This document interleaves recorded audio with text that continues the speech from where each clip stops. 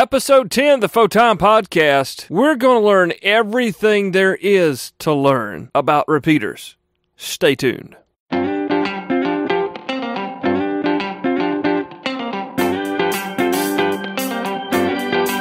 AmateurRadio15.com presents Photime, the other ham radio podcast, sponsored by Main Trading Company. Find them online at mtcradio.com. Now, here's your host, Cale Nelson, K4CDN.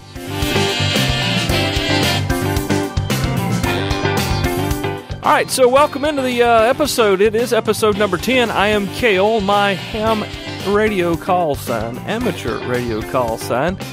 My vanity call is Kilo 4 Charlie Delta November, and I appreciate you being here. All right, this is the Photon Podcast. It is a amateur radio podcast for those of you who are new, those who are interested in amateur radio, and those who have been around a while and are looking for some sort of entertainment, and I hope that I'm bringing that to you. It must be working. Our downloads continue to increase every time we release a new episode, and the older episodes continue to be downloaded as well. So thank you for not only listening, but sharing with your friends the opportunity to listen to the Photon Podcast. We're on Twitter. Uh, I didn't mean to do that. We're on Twitter at Photon Podcast, and we're on Facebook as well. I think it's actually Facebook forward slash or backslash, whichever one. Photon, yeah, just Photon. And you can find links to all this on the website, amateurradio15.com. Okay, I am Cale, and I've got some great show sponsors. Real quickly, Main Trading Company, mtcradio.com. You can find them online there. And if you're around Paris, Texas, you probably know where they are. Speaking of Paris, Texas, and Main Trading Company, they're going to have a big ham radio day, October the 18th, 2014. I encourage you to go, not only for the great show specials and the great deals they're going to have, they're going to have the MFJ truck and lots of um, lots of reps from different companies, along with giveaways, which equals free merchandise, like the Kenwood TS590, which is top of its class, and also the new Kenwood flagship rig. Yes, the $8,000 Kenwood TS990. They're giving both of those away, amongst other things. So, if you've been contemplating checking them out uh, in person, that would be a great day to go. It's October the 18th. The details are on the website in the show notes at amateurradio15.com. I also have an Amazon affiliate store. When you spend money there, they send me about 4% of the sale, and that kind of helps defer some of the cost of hosting and uh, the other stuff we have to pay here for the Photon podcast. And I appreciate it when you do. I'm not going to tell you I appreciate it 30 or 40 times like the last episode, but I will tell you uh, it's not cheap, though it's not really expensive. But uh, when you've got five kids and one income, anything helps. So if you're needing something from Amazon, check out the Photon web store. The link's there at amateurradio15.com. All right, we want to talk tonight, today, this morning, this afternoon, wherever you are, whenever you are we're going to bring in a new guest to the Photon podcast, and this will not be, the good Lord willing, the last time we hear from this gentleman. Kilo Juliet 6 Victor United, as we would know him on the air. His name is George Zeropoulos. I'll not try to pronounce it again, but George, we're excited to have you join us tonight, today, this afternoon, whenever, wherever, here on the Photon Podcast. Hi, Cale. Thanks for having me on. Folks, George contacted me uh, right after we aired the episode with Nick regarding Pignology. And uh, George is, uh, he's really involved in the Baynet uh, linked repeater system out in California, which I want to learn some more about. And uh, he was so gracious to put a link on their club, in air quotation marks there, uh, website to help direct folks to the podcast. George has been we we've been sharing some contact back and forth, really encouraging, and I appreciate it, George. Again, thank you for being on the show, and we're really interested in to knowing what you know about repeaters. Uh, sure, Cale. Well, uh, again, thanks for having me on, and. Uh, I've been working on repeater systems for a long time. I first was licensed back in the 70s, and uh, way back then, of course, repeaters were uh, gaining uh, tremendous popularity. So a lot of commercial gear became available, and, and a lot of Japanese imported gear started to come into the country. So repeaters really took off, and so I got interested in ham radio in the 70s, right at the time that was taken off, and and I made a bunch of friends who were uh, uh, really big into building repeater systems, and so I thought that was a really interesting thing to do. So I joined in on the fun, and I've been doing it ever since. Fantastic. So you were licensed in the '70s. I was, uh, no offense, but I was born in the '70s. and uh, that that's why you're a professional and know what you're talking about. And I'm learning as we go through this thing called the Photon Podcast. Uh, George, there's a lot of folks, uh, and we just recently did a, an episode here about new things for new guys. Uh, I tried to kind of explain what a repeater was and didn't really want to go down that road too far because I didn't want to look like a complete idiot. So, will you, uh, with your knowledge, explain to us what a repeater actually is for the layman? Yeah, sure. Um, so the really the concept is really simple. Uh, simply put, it is a receiver and a transmitter, uh, plus some other hardware that you put together, and and uh, it allows you to receive a signal on one frequency and retransmit it on another frequency at the same time. So it, when you get your first radio, of course, the first thing you want to do is see how far you can talk. So if you have a, a handheld radio and you're talking to your friend on his handheld radio, you might get a couple miles. You know, if you have some elevation, you'll get much greater distance, but you know, you might get a mile or two. Uh, a repeater st- system lets you uh, put a receiver and a transmitter up on a high elevated point, and that could be a mountaintop or a building or a water tower or anything that's above the surrounding terrain. So once you do that, of course, you can expand the coverage significantly, and the repeater itself is really uh, pretty straightforward. You listen on one frequency, retransmit on another. Uh, the tricky part, of course, is uh, to really tune it to make it perform really well. takes uh, takes some work and and you know a little bit of knowledge, and then you can make the system work really well. Now, see, I would have totally blown that up, but thank you. Uh, it, it is so simple; it's almost hard to explain easily. You know, it, it, at its core, it's really simple, and I think what's what's kind of kept my fascination for repeaters over the years is that it becomes a um, a resource for your local ham community, and there's so many things you can do to uh, enhance and expand the functionality of that repeater system, and it becomes really a, a, a tremendous asset um, during natural disasters, during uh, community events, just as a focal point for the community. It serves a lot of purposes. You know, back in episode one, we were talking with uh, Cecil after talking about the the following the Joplin tornado disaster they had in Missouri, and they had they had lost a repeater and they found a hole in their coverage area, but lo and behold, somehow somewhere in their area that they were operating, there was a tower left over that was 700 feet tall and had a two meter repeater antenna on it, and it was connected to nothing. And they tested it and it began working. So there you go. Uh, you know it takes all parts. There's and we could even talk about the parts that are required for a repeater but uh, wow talk about having something that can serve your community and don't even realize it's there. Uh, you oh, know. oh yeah that's uh, that's amazing. And uh, a lot of groups uh, put together those kind of portable systems in the event of a disaster so that you can field them and and provide coverage and communications where either because something is knocked off the air or because there might be a an a, a area, a geography that's difficult to get to, and you might have to bring in some portable gear. So let's talk about uh, stationary gear right now, and but I, I do want to touch on portable gear as well. But uh, you know, we we we're a new licensee.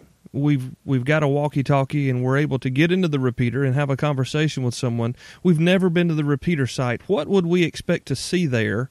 Uh, at, at, least for you guys in the uh, the Baynet system what what would we see if we came into your repeater site? So in our system, uh, we have two radio sites that are connected together, and uh, imagine the in the San Francisco Bay Area, we we have this big bay and um, mountains that surround it. So in California, uh, one of the reasons I think that uh, repeaters really took off is because we have a lot of mountains, and if you could put a repeater station on a mountain, you get tremendous coverage. So that really makes it, in a way, kind of easier for us than in other parts of the country. So uh, in our case, we have one site that is in the South Bay, and it's above Silicon Valley, San Jose area, and we have another site that's above the Berkeley, Oakland area in the East Bay. Um, so if you go to the the primary site, which is our South Bay site, uh, what you'd find is uh, is a, a, large equipment rack. It's a it's a 19 inch standard relay rack kind of a cabinet. Uh, it looks like the sort of thing you'd find in a like a computer data center, but instead of servers in there, uh, we've got our radio equipment. So so typically, what you'll see uh, rack mounted is going to be the repeater itself, which is the receiver and the transmitter. So that might be one unit screwed into the rack. Uh, you'll have a duplexer, which is what connects the receiver and transmitter antenna ports together, and then the output of that uh, duplexer feed line goes up to your antenna. The duplexer lets the um, uh, transmitter transmit and the receiver receive and not interfere with uh, with one another. Uh, we have a rack mount power supply. Uh, we also have a rack mounted control system that's the brain of the repeater and um, that's pretty much it. So if you kind of imagine a single repeater, typically is going to take up about maybe about two or three feet in a in a rack. Wow, and the rest of it's just spare space. Now, do you guys?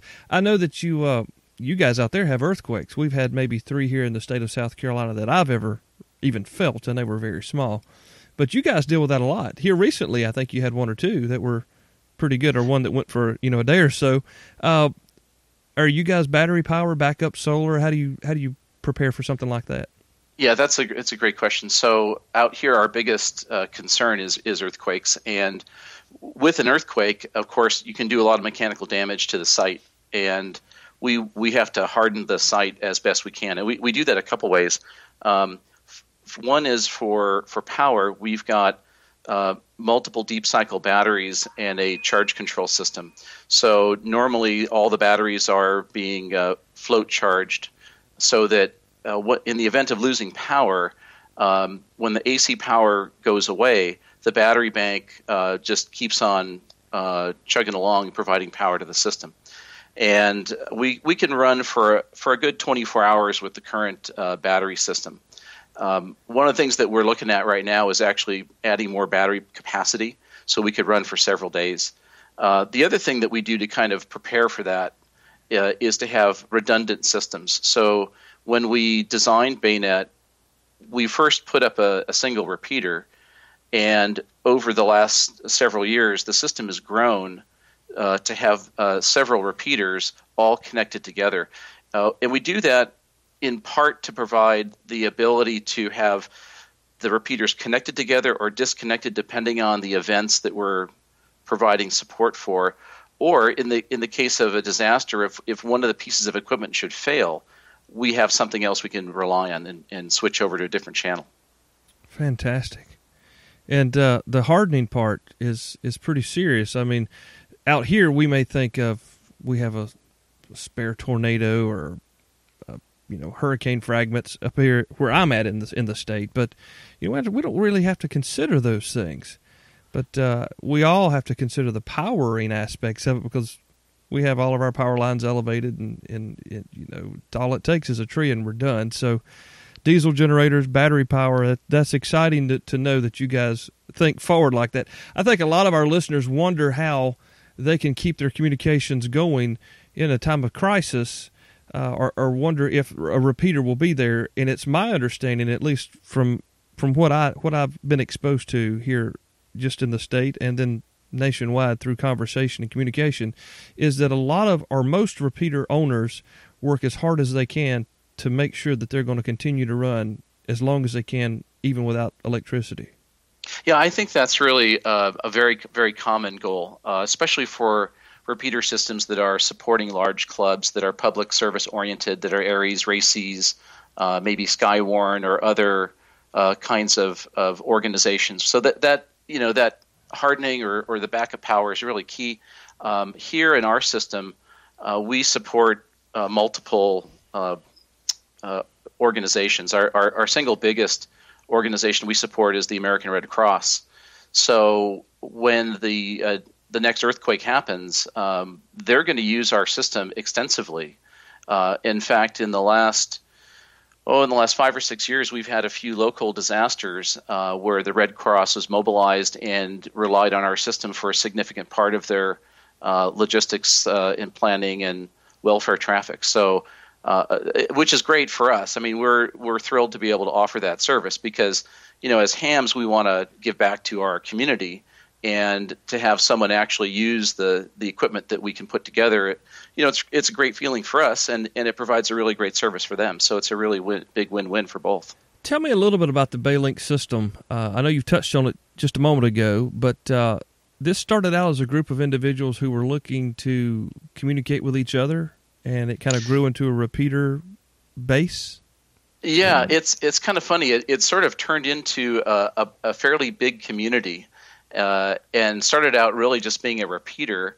Um, but over the last oh, six, seven years or so, we've we've uh, we've grown into a club, uh, which was never the intent originally. so the original goal was to put up a repeater for you know some friends to chat on, and you know if someone else wanted to use it, that's great.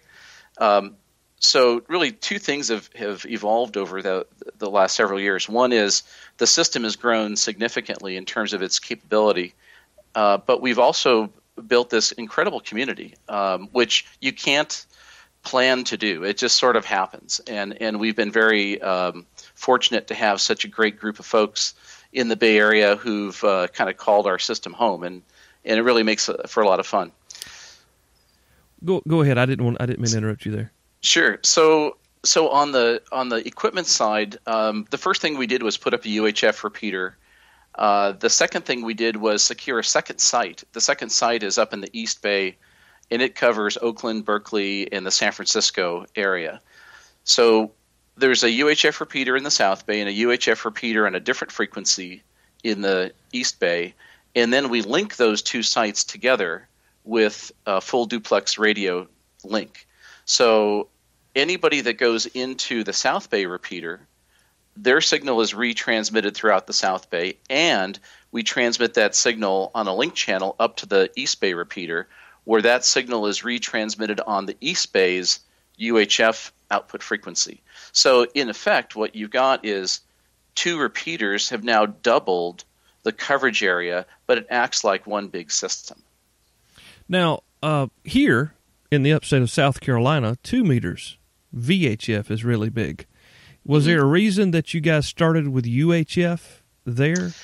Yeah, there's a couple of reasons. One reason is that there's a lot more frequencies in the UHF band than on the two meter band, and in the Bay Area, uh, for for many years, by the time we started, uh, for the most part, the frequencies were all uh, reserved for existing systems. So it was a little bit easier to find a frequency in the UHF band. The the big plus that you get with that also is the equipment the the antenna related equipment can be a little bit less expensive and smaller. The, the biggest difference is the duplexer. A two meter duplexer is about three times the size of a UHF duplexer, and it's at least twice the cost. So uh, there's a little bit of an advantage going to UHF as well. And that's why we see when these guys homebrew these GMRS or UHF repeaters, they're able to take the uh, the little notch duplexer from China for ninety bucks or so and, and make it work because the frequency allows it to be so much smaller. Yeah, that's exactly right, and and this is something most people don't really understand at first. Um, so those those duplexers, the closest you can space the receiver and transmitter frequency on those mobile duplexers is five megahertz, and at UHF that's the standard split, so it works just fine. On two meters, the repeater split is 600 kilohertz, so 0.6 megahertz. It's it's a tenth of the spacing of UHF, and that means that the duplexers have to be much narrower and capable of notching out a frequency much much closer than at UHF. So that's uh, that's a difficult problem, and and you could do that if you have a big duplexer, but it's it's like impossible to do that in a mobile sized duplexer. And if you ever see a VHF mobile duplexer, they'll only work in the commercial bands because they're working on about a 5 to 8 megahertz split, which is what you'll find in VHF in the commercial band. Wow. So let's talk about that for just a minute. Uh, a duplexer allows you to it, it, cuts out the other signals, the the notch notching effect there, like a filter on an HF radio would maybe yeah. be a good good example there. Yeah, so the, the duplexer really has two. There's two kinds of filters that you can have: a notch filter and a pass filter. A notch filter is is tuned to eliminate the signal in the other radio. So let's say if I'm I got a repeater and the repeater transmits on 444 megahertz and it listens on 449 megahertz. The filter that's on my receiver, I want to listen on 449. I want to notch out the 444 signal. So that notch is a very steep um, filter that takes out pretty much just that frequency and a little bit next to it. The pass filter is broader and it, it lets a lot of frequency spectrum through around the frequency and then kind of trails off towards the edges. So uh, what you'll tend to find is two kinds of duplexers a pure notch only duplexer or a notch pass. Mm. So the the mobile ones we were just talking about a minute ago, those are notch notch. There's no pass filters. The ones that you'll find at a repeater site, if you're really building a, a performance radio, a performance repeater, you'll have notches and you'll have pass filters. Um, so essentially, the notch keeps your other radio out of your your radio, the pass filters will keep other junk at the repeater site out of both of your radios. Because at a, at a commercial repeater site, for example, you're going to have not only amateur equipment, you're going to have commercial two way equipment, and you have to engineer the system so that you not only don't interfere with yourself, but you don't let anybody else interfere with you and you don't interfere with them. The worst thing that you want is for your site owner to call you one day and say, uh, we just got a call from the radio shop at the police department. they could hear you. That is not a good day. so, so this is this is a really good a really good place to take this next question. Coordination for repeaters. Uh, a lot of guys may not know that you can't just go and say, "Okay, I'm going to pick up this frequency at uh, 147 315, and I'm going to put a repeater on it." Uh, it has to be coordinated throughout your general area. Yeah, that's right. And there's sort of two aspects of this. There is what does the FC what does the FCC allow you to do legally with your license, and then what is the convention for how it really works. So legally, once you're a licensed amateur radio operator, you can put up a repeater in the frequency band that you're allowed to that will allow repeaters. So if you're a technician, uh, you can operate on two meters and you could put up a two meter repeater and you could put it anywhere in the band that you want legally. Now, the important thing is you can't really do that practically because you want to coordinate your efforts with everybody else so that there's no chaos. And to prevent chaos in every region of the country, there are coordinating bodies that make sure that uh, all the repeaters work well together. So if you want to put up a new repeater, you work with your local coordinator, you try to identify a frequency that would work, and if there's an interference issue, then the coordinator helps resolve those issues. Fantastic. So the guy who uh, wants to to create a portable type repeater to operate on his deer hunting property, uh, they need to be aware as well that they're responsible to coordinate with the uh, the frequency coordinators of your area. Yeah, that's that's true. You really need to uh, give some thought to where you want to put your repeater, and you know, from a practical point of view, you want to look at what you're really trying to accomplish. So, for example, if if you are in a in a in a location that's far away from a lot of other hams, um, you want to put up a little uh, repeater on your property. It's only running a few watts odds are no one's going to care really. So it sort of doesn't matter as long as you don't put it on a frequency where there's an existing repeater close by that would cause interference. It sort of doesn't matter in a way where you put it. Uh, but if you're where I live, in the middle of the San Jose metropolitan area, pretty much every frequency you would normally pick, there's already a repeater on. on Somebody's there. Somebody's there, and you know you really don't want to uh, irritate one another. So um, so there's a whole process you go through to try to make it work. And uh, one thing that I, I that I, and I've I've been doing frequency coordination both as a user of the service and and in, many years ago as as one of the frequency coordinators in Northern California. Um, one thing that's really super important is for a repeater owner to work with the other people who are ch- ch- sharing the same frequency that you are using in the adjacent area. Uh, I, will give you one little example of that. When we put up our Baynet system, as I mentioned, we put up the UHF repeaters first. Well, a few years later, it, we had the opportunity to put up a two meter repeater also. And the repeater frequency that became available was previously uh, on a hospital building. And it was a pretty low level site. So we were going to take that repeater and put it at our site, and now we would have a much bigger footprint, and that'd be wonderful. Um, and so we did that, and uh, we thought it would be okay. And and so the folks who were using the same frequency over the mountain range in the Central Valley objected to that.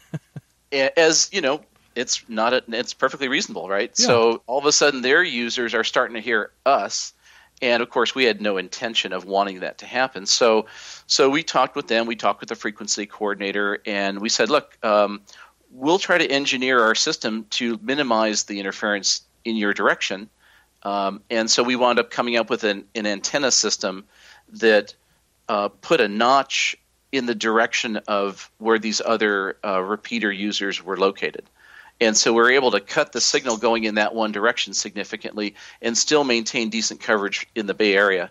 Um, and, you know, the, the other choice would have been to be difficult, right? Yeah. We could say, well, too bad. and, you know, now it's sort of a range war. And, you know, if there's anything that ham radio doesn't need is that. So uh, you know, cooperation and and you know, really working together is really the key. And and we did that, and everybody got along, and it's it's all fine. Tell me about PL tones, or, or tell us about PL tones. Could that have helped, or did that was that a process you, know, you went through there? So in areas like um, the Bay Area or any big metropolitan area, everybody's pretty much using PL or or digital PL tones these days. So so what these are is is a an extra signal that's put on the transmitted signal. Um, there's about 32 standardized PL tones. They range in frequency from about 67 hertz to about 230 hertz. They're kind of below the, the frequency that you can easily hear uh, n- normally. So uh, the idea is when I transmit uh, with this tone on my carrier, that tone will turn the repeater on. Um, if I have two repeaters on the same frequency, and they're operating with different tones, I'll key up one repeater, but I won't key up the other. So that helps, of course. But if I can listen to both repeaters, then if people are talking on both, well, it'll be an interference problem. So one thing that people will also do is use PL decode, where your radio will your your mobile radio or your HT won't open up and pass audio unless it hears tone coming from the repeater. Now, that helps for sure, and that's been used in the commercial world for many, many, many, many years, but it only masks the problem. So, for instance, if I have two repeaters in the same channel running two different PL tones, and I'm decoding re- repeater A, and repeater B keys up, I may not hear that repeater, but that transmitter is going to desensitize my receiver. So it may be blocking the signal getting to my receiver. So PL tones are a way to uh, to eliminate noise and to co-channel uh, more effectively, but it, it doesn't really let two repeaters coexist in the same territory unless the um, the usage is so low it doesn't really matter. I got you, I got you. And and folks, those are pretty much subaudible, so it's not a Roger beep that you're going to hear or anything like that. It's just a almost near invisible switch that turns the repeater on for you as you transmit in or broadcast out. Yeah, that's right. It, not only is the frequency low, but uh, we keep the deviation or the, the, the level of the signal very low as well. So a typical voice peak in a uh, in, in, an FM repeater is maybe four kilohertz or so in deviation, four or five kilohertz. That PL tone is only deviating about half a kilohertz. So not only is it low in frequency, it's low in amplitude, so that you really don't hear it. And by the way, uh, if you design your repeater properly, you'll filter out those frequencies entirely from the audio. So they'll never get through the repeater at all. And that's really important, by the way, because in some repeaters, you'll decode one PL tone and encode a different one, and you don't want the two to mix together. Very interesting. Very interesting. All right, so a few years ago, a few years ago, you guys, you and some friends decided to put up some repeaters there in the Bay Area, and uh, you built your own repeater and controller, and you began doing that. Uh, I don't. Is it a side business? Is that the best way to say that, or is it? Uh, it didn't look like a side business when I viewed it on the internet. Very nice looking website. It's Sierra Radio Systems. Tell us a little bit about what you do there. Sure. Um, it, it, really is a it, it's a it's a hobby business. Uh, really, we do it because uh, we really we really enjoy it, and we, we did it kind of as a service. So, uh, myself and another ham, uh, John KJ6K, uh, we live in the same area. We're family friends, and uh, we both belong to another radio club that's a very large link system with um, repeaters all throughout the Southwest, and it's a very complex network. And about nine years ago, ten years ago or so, uh, we decided that uh, wouldn't it be fun, uh, in quotes, wouldn't it be fun to design a repeater control system? And since I've been building repeaters for for many years, um, I know guys who've designed them, and I, I, sort of know what you need. At least I thought I did. And um, you know, in typical ham fashion, we said, "Well, how hard could that be?" You know, to do this. and, it, of course, you find out, you, you, know, you don't know what you don't know when yeah. you start doing something like this. And uh, it's been quite a journey. So, so we we started uh, uh, back in about 2005. We came up with a design. We we built one, and they had all kinds of problems. And then we worked at it, and then it took us a couple years to finally get something that we were um, pretty proud of. Um, and fortunately, this big uh, linked repeater system is called the Cactus Intertie. Cactus is is uh, 20 different groups that are all connected together throughout the whole Southwest, from California to Texas and Arizona, New Mexico, and all over the place. And they all use control systems that behave the same way. And there are some really, really smart guys in that group. There are a lot of professional two-way radio people, broadcast engineers, uh, et cetera and so we would design this thing, and then we would show it to them, and they'd say, "Well, that's awful." you know, it's got to do this, and then you, then you'd work at it, and then okay, now it does that, and and, and then it'd be something else, and then it'd be, so so it was a wonderful experience because we learned a lot. Um, and, eventually we made a controller that was really good. Um, and, and everybody kind of, at the end of the day, said uh, in this group, they were pretty happy with it, and we're still evolving it today. I mean, it's it's a continual project. So so we we built these things really for our, kind of our own consumption, um, and then figured that uh, since this is a, big money drain, that uh, we needed to sell them to at least break even on this this crazy adventure. So we we created Sierra Radio as a um, as a way to sell them.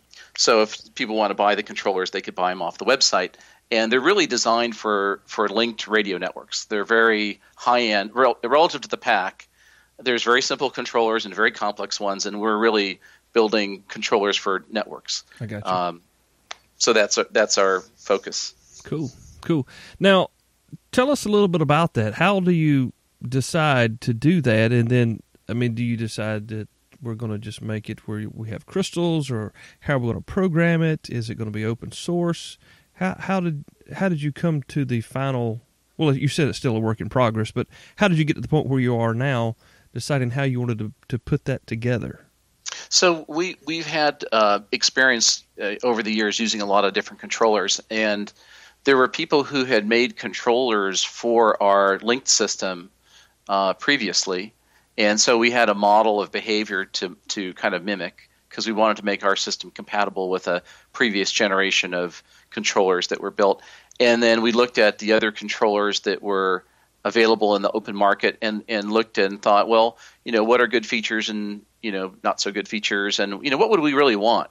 And, and so we, when you, when you do something like this, you, you start out and say, well, like, what's my goal? You know, am I trying to make the cheapest thing? Am I trying to make the, the fanciest thing? Am I trying to make the most reliable thing? What is it? And all these factors are really conflicting at some level. You mm-hmm. know, you you can't make the cheapest thing and the most reliable thing and the most expandable thing. It just that doesn't exist. So you kind of have to put a stake in the ground. And so since we were really designing it for ourselves initially, we thought, well, what we really want is reliability and functionality and kind of ease of use.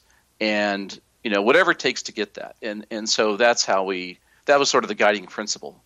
So I, I give you one little example. So so in all the controllers that I've ever seen up to the point where we did ours, um, if you have multiple radios, uh, every radio you have to be able to set the level of the audio. Very simple, right? Uh-huh. I've got I've got a receiver and a transmitter. Those are two levels I have to set. If I have two links, that's two more receivers, two more transmitters. Now I've got six. And so one of the things that, that we're really picky about is the audio quality. It's got to sound really good, and so he's paid a lot of time and attention to making the audio chain really have good fidelity and make it easy to, to set all these levels. So one thing that we uh, did was we said there's not going to be a single mechanical pot or potentiometer in that controller, meaning to set the level, instead of sticking a screwdriver in the slot and twisting the, the level control, all the pots are all digital. They're all little chips mm. that are controlled through software. And the reason for that is a lot of our repeater sites are up at the top of mountains that are five hour drives away. And the last thing you want to do is say, uh, gee, it's Saturday morning. I'm going to drive five hours to stick the screwdriver in the slot and turn it a quarter of an inch and drive five hours home. And see how it sounds then. It's, exactly. That is like, that's a bad thing. So, you know, all that kind of stuff can all be remotely done. So it's things like that that we try to figure out. Well, you know, what's what can we take advantage of that's sort of in the market today, technically, to make this just better. So that's what we did. Very good. Very good. We're going to be back in just a moment here with George. He is Kilo Juliet 6 Victor United. This is the Photon Podcast. I'm learning a lot. I am sure you are too. Back in a minute. Visit MTCRadio.com today, a great one stop mom and pop shop for everything ham radio radios, antennas, power supplies, wire and cable, books and training materials, microphones, headsets, and accessories. Find popular brands like MFJ, Heil Sound, Jetstream, LDG, Alinco, Comet, Texas Bugcatcher, Radio Waves, and more. MTCRadio.com, an authorized Kenwood and ICOM dealer. MTC Radio radio.com.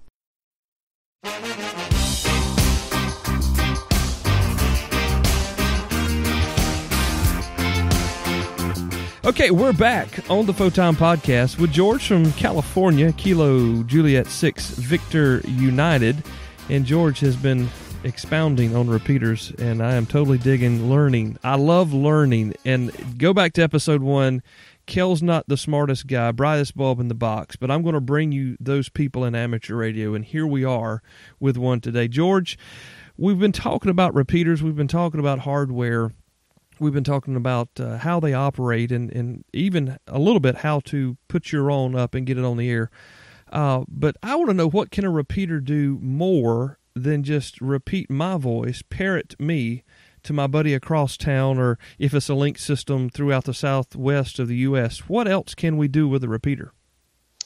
Well, there's a lot of things that have evolved over the last uh, dozen years that are really exciting. If you look at r- repeaters 30 years ago, uh, the t- t- typical FM repeater then is is still with us now. So it's a great mode, the basic FM repeater. But there's so many more things you can do. So, uh, for example, one of the big uh, big areas of growth is to leverage the internet. If you're lucky enough to have internet access at your repeater site, then you could connect repeaters together using using the internet. And there's some very popular systems out there. Uh, there's one system called IRLP, which stands for the Internet Radio Linking Project.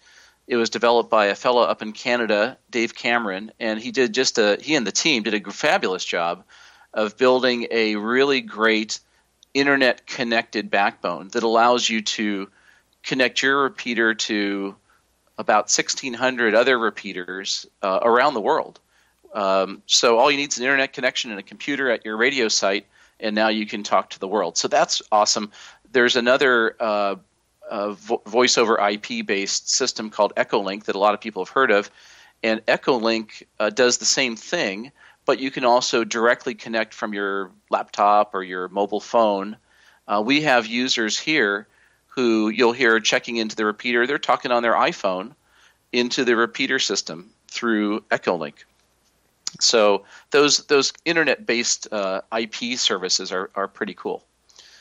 Um, another thing that, that we do, uh, it's kind of a simple thing, but uh, every week on our repeater, we run the uh, amateur radio newsline, which is uh, Bill Pasternak's uh, news service. They've been running this for so many years. It's a great service. So uh, we run that every week at 9 o'clock on Monday night. we run the ARRL audio news every week also. So you know, we do that as a service to the users so they can hear the latest news in ham radio. And um, and it, to do that, we have a computer at the repeater site. It downloads the files automatically, plays them automatically, so we don't have to do anything. It's it's pretty slick. Very nice, very nice. Are are, are there other things that we can do? I, I'm not familiar with D Star, although I have a pretty good idea of what it is. Uh, but can you take us down that road? Yeah, that's another really exciting area. I think um, it's digital repeaters, digital um, modes on VHF, UHF. They've really taken off in the last uh, five years. So, uh, and there's many now. In fact, it's kind of uh, uh both exciting and a challenge because uh, today there's at least four different commonly used digital modes um, for repeaters. D-Star, you'll hear another one called DMR or MOTOTRBO, which is Motorola's brand name for it.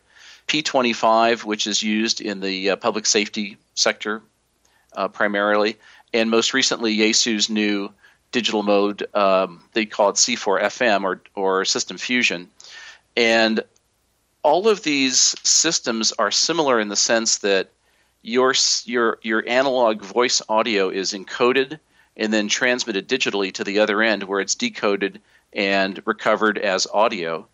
So that gives you this kind of works or doesn't digital behavior. So in analog FM, of course, as you go out of range of the repeater or the simplex station you're working, it starts to get noisy.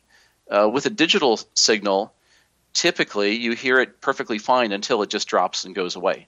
Now, there's there are some other cases where you get garbled audio, but for the most part, you're there or you're not. Um, each one of those modes there's have have various features. Um, one of the challenges, though, is they're all incompatible. so, you know, it would be like I don't know if you remember, Cale long, long, long time ago. If you, when you bought uh, like when you bought a cell phone, imagine you buy a cell phone and and if you have an ATT cell phone, you can't phone call somebody on like the Verizon network. Would oh, that yeah. be this?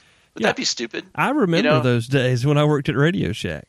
I mean, it, by you know by today's standard, you look at this and this is like insane. Yeah. But but that's kind of where we're at. And and personally, I'm a little torn on this because on one hand, I love the innovation and I love the fact that there's new stuff coming down the pipe. At the same time, from a practical point of view, it's fragmenting the community. So so you know everybody has FM capability. A small percentage have digital capability. That small percentage is now fragmented amongst four different standards. I mean, so why it's not even a standard at this point, right? And that's is that why I hear a lot of people when it's when that subject is broached, you'll hear a lot of people say it's not even worthy of consideration. It's just more trouble than it's worth.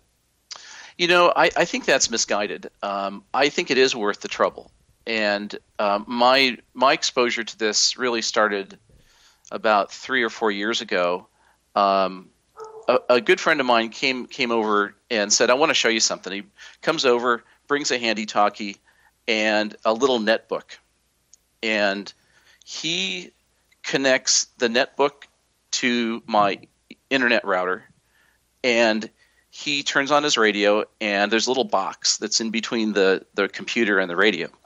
It's a little little piece of plastic with an antenna, and and so he's talking from his handheld three feet across the table to this little box.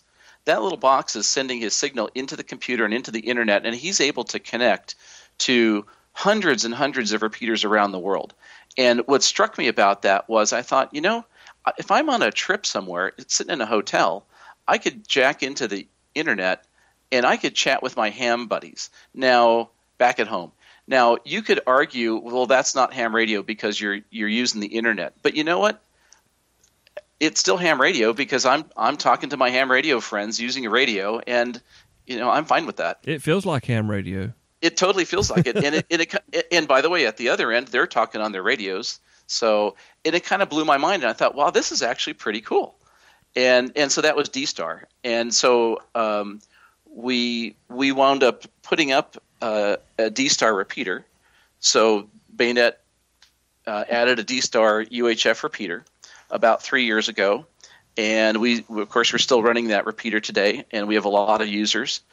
Um, and in this last year, when Yaesu came out with their System Fusion, um, we signed up to be a beta test site for that. And so we have one of their digital repeaters, and that's installed in the Baynet system. And we're running the Yaesu C4FM system on that uh, repeater. So, so we're getting some good experience in both of those modes. Wow, that's exciting. You, you, know, to me, like you say, the innovation is very exciting. But I understand just as you explain how it does splinter, because it's almost like a Ford, Chevrolet, Dodge kind of an argument, or a you Yaesu, know, Kenwood, ICOM argument. It, it is, and and it's kind of silly because uh, I mean, if it were up to me, I would encourage all of these vendors to pick one thing and and make it compatible. Um, so innovation aside, I think the interoperability is really much more important yeah. uh, than anything else. And and it's kind of odd to me, like when Yaesu came out with their new system. Now that D-Star has been around for ten years, and and so what did Yaesu do? Well, they invented their own system, and you could argue that ten years later that the Yaesu technology is better or the same as uh, the ICOM D-Star equipment, but frankly um, the fact that they can't talk together is is kind of the big miss, in my opinion. Right. It's almost like, okay, guys, get rid of the patents, call it what you want, just make it all work together. Well, the funny thing is, by the way, if you look at D-Star, um, any manufacturer can make a D-Star compatible radio. There's nothing, ICOM does nothing to prevent you from doing that. Um, so it, it's quite a misnomer that that D Star is only ICOM from like a legal perspective. So they they uh, basically just open it up, but the other brands appear to be too proud. Maybe. Yeah, which is silly. And, and, the funny thing is, by the way, ICOM didn't open it up because it's the JARL, the equivalent of the ARRL in Japan, that defined D Star to begin with. Ah. ICOM is just the only company that ever built it. So it, it's by definition open because it's a JARL specification. So it's the oldest. We might as well call it the standard. Everyone else is just afraid to get in the boat with it. Yeah, and I, I just, uh, it's sort of a mystery to me. I mean, I could see if Kenwood or uh, Yaesu or someone said, well, we're not, it's not a big community, um, not big enough for us to bother making that extra feature. But once they do go for a digital mode like Yaesu has, they, they do their own thing. By the way, the Yaesu system is really nice. Um, you know, it sounds great. Um, it's got some nice features. They're adding more features to it. So in a vacuum, it's fine. It's just not compatible. Yeah, yeah. And if you don't have one of their new radios, you can't talk to your buddy across the street. Exactly, exactly. and and so, frankly, I think the next big opportunity is for people to look at building uh, radios that allow you to to run multiple different systems in that same radio. So it'll be interesting to see if that happens. I hope so. You know, you hear a lot of folks begging for open source radios uh, you know, begging for open source HF radios, begging, and there there's another opportunity. Wow, if someone was smart enough, number one, wealthy enough, or had the backers, number two, uh, they could completely change the face of amateur radio as we know it. Well, and there are people doing that. Um, there are people who are uh, designing the equivalent of the digital technology that's in those systems and open sourcing it. So um, there are people that are doing that today. Uh, now the challenge with that, of course, is it's one thing to invent the technology, it's another thing to get people to actually build it into their equipment. Right, right. Or even black box it and you know, you have pirates running around enjoying the tech. hey, tell me a little bit about uh, since we're talking about repeaters, um, and we've talked about emergency situations in the first segment. Uh, do you guys ever do any digital work over your repeaters at all? Digital we, as in digital modes, I guess I should uh, say. Not really. Um, you know, in the conventional FM radios, you really uh, there, you really don't do that there normally at all. Uh, you can send digital data through the digital uh, system. So D-Star, um, Yaesu, both of those systems allow you to transmit uh, digital data along with your digital voice. And there's a lot of groups that do public safety uh, support, public service support that do take advantage of that. Um, we don't happen to do that ourselves, but but there are groups that do. Okay. Okay. Um, well, what have I forgotten to ask you? Because I know that there's got to be something that I've missed here, especially oh, for someone who's just coming in, who's just trying to. Because we, we've gone down a rabbit hole with this digital thing with with um, with with D Star and whatnot. But to bring us back to the new guy, to the folks who are who are just dipping their toe into the hobby here, who is who we're really trying to speak to here on the Photon podcast. Uh, where do we where do we go next regarding repeaters? Well, I think what's what's happening is uh, a lot of these interconnecting things are really the next sort of the next wave. Uh, you'll see more and more of that. I mean, it's certainly been happening for years, um, but I think you'll see even more of that, um, and gradually more and more digital systems. Uh, I, I, hope the next wave includes uh, interoperability between analog and digital systems. Um, so from a from a repeater uh, design, repeater owner, equipment side of things, uh, I certainly hope we see more of that. In other words, um, right now, in, like in our system, all of the analog repeaters are connected together. You can go into two meters and come out UHF, et cetera. But when you go to the D Star repeater or the C4FM repeater, they're really in their own little world. And I would like to see that bridge together, at least um, on command. So, in the case of a disaster, it'd be great to be able to bridge all those resources together as necessary. We could do that today in analog, that we do that all the time. But bridging over into the digital side, uh, it just doesn't happen yet. Right. So you could take your analog radio and push data through the digital if you were capable of doing that. Yeah. So if you, for example, if you take a, a, a digital mobile radio, eventually that comes out as analog audio. So you can take that and marry it into a multi-ported controller and mix the audio uh, in the analog domain, which is what we do normally for most of the repeaters out there. Uh, so that could be done, um, but that's kind of the exception. Right. Uh, going back to your linked repeater system that started with just one and then 2 mm-hmm. Uh, and, and has grown, uh, how did you guys as a group, how did you achieve that? Well, it really uh, was the initial idea to to to try to expand the coverage area. So we had to find sites that would give us the right coverage, um, and then uh, you know build out the system and kind of make it work. Um, Baynet was really modeled uh, on this larger link system. So the way that the larger link system was was designed, meaning multiple repeaters in different sites with full duplex links between them and all that, uh, we ba- basically built a, a, baby version of that when we built um, Baynet out. So we kind of knew the behavior we wanted, and then it was just a matter of pulling the pieces together and hooking it up and making it work. Fantastic. And how many? You, you say it now. It's turned into a club. How many members do you guys run in your club? Uh, we have an email list uh, where people can post questions and comments uh, online, and we currently have 156 uh, registered uh, members online. And is that is that open to folks outside of the area as well? Oh, or? sure, okay. sure. Uh, yeah, anybody who's interested, they can go to the website. Uh, actually, the I would suggest that you take a look. The club website is very rich with content. So it's very we're very deep. Yeah, there's a lot. there's a lot there. So if you go to the website, uh, you'll see a lot of the activities that we do. Uh, we do field day. We do uh, something we call the antenna shootout, where we go out to the field and take our HF gear and uh, you know compare antennas. We do um, public service events throughout the year. We do an annual meeting. Anyway, all that stuff's there, um, and there's a there's a, a, a link that explains how to get to the email list, and we can add you in. Uh, it's on Yahoo Groups, uh, so you can find it pretty easily. Fantastic, and we'll have links to all of this. Uh, we'll get George to email me, and we'll put it in the show notes. Uh, man, I, I, tell you, George, uh, I think we could go on longer but uh, I don't know if our heads could hold much more information this evening.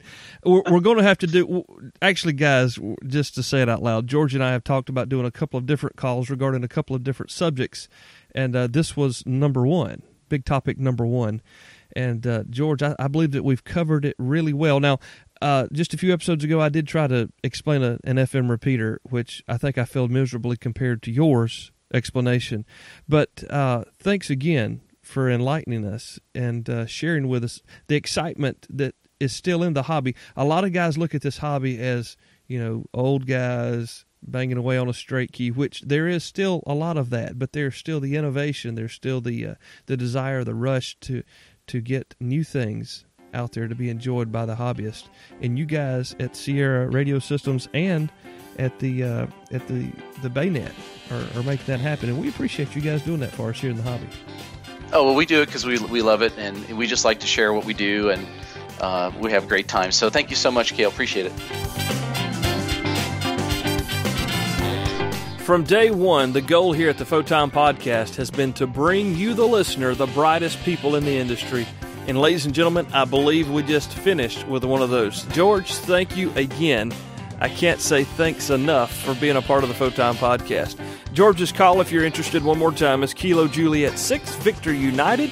And uh, we'll have all the information about the Baynet and whatnot in the show notes at amateurradio15.com. Don't forget MTC Radio if you need some gear. We also have the Photon web store that's affiliated with Amazon. So if you need something from there, check that out as well. We're on Facebook, we're on Twitter, we're talking to you, we're connecting with you, and we're going to continue making these great podcasts as long as our great listeners are listening and sharing with us their feedbacks. Thanks, guys. We appreciate you being here. Catch you next time. This is K4 CDN 73. Thanks for downloading, listening, and subscribing to Amateur AmateurRadio15.com presents Photon, the other ham radio podcast. You can find our past episodes, web links, and more at AmateurRadio15.com. That's AmateurRadio15.com. Follow us on Twitter at Photon Podcast. And remember to visit our show sponsor, Main Trading Company, at MTCRadio.com. Till next time, 73s.